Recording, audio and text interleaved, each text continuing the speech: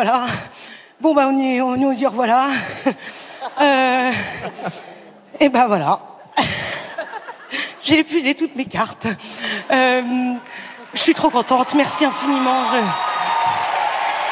je réalise pas du tout ce qui m'arrive. Je, d'abord, je veux faire un, un, j'embrasse très fort Meryl et, et, Adèle que je trouve tellement talentueuses. Euh, il y a tellement d'autres euh, femmes talentueuses euh, autres que moi euh, qui n'auront pas le droit à cette victoire pour cette année, mais une autre année, j'en suis persuadée. Euh, merci infiniment. J'aimerais faire un petit. Euh, ça n'a peut-être absolument rien à voir avec ce qu'on fout là, mais je crois pas. Je crois que les artistes cherchent à à se faire du bien déjà premièrement, et puis à faire du bien aux autres.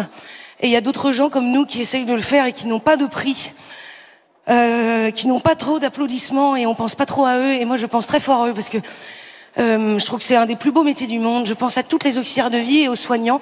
Euh, voilà, j'avais envie de leur faire un, un bisou euh, parce qu'on a assez parlé de moi. Euh, bravo à tous les gens dans le monde qui essayent de faire du bien. Le monde est tellement beau et en même temps tellement horrible. Et à, à, notre petite échelle, on peut faire des choses. Et entre autres, voilà, il y a les soignants qui se battent tous les jours pour le faire, les pompiers, tous les plein de gens, les instituts, bref, plein de gens. ils n'ont pas de victoire. Et ben, je vous la donne. Merci infiniment.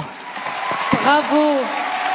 C'est beau, hein Merci Zao, vraiment, du fond du cœur. C'est beau de voir une, une artiste qui, qui, naît, qui explose sur la scène des victoires, quoi. Oui, et puis surtout, alors c'est vrai que là, euh, Zao a, un, un, peu raflé quand même beaucoup de choses et c'est mérité, mais euh, c'est vrai que la révélation, ça compte.